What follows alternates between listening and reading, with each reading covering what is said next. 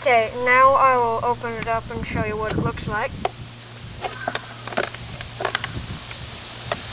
That's it, that little sponge thing. Yeah.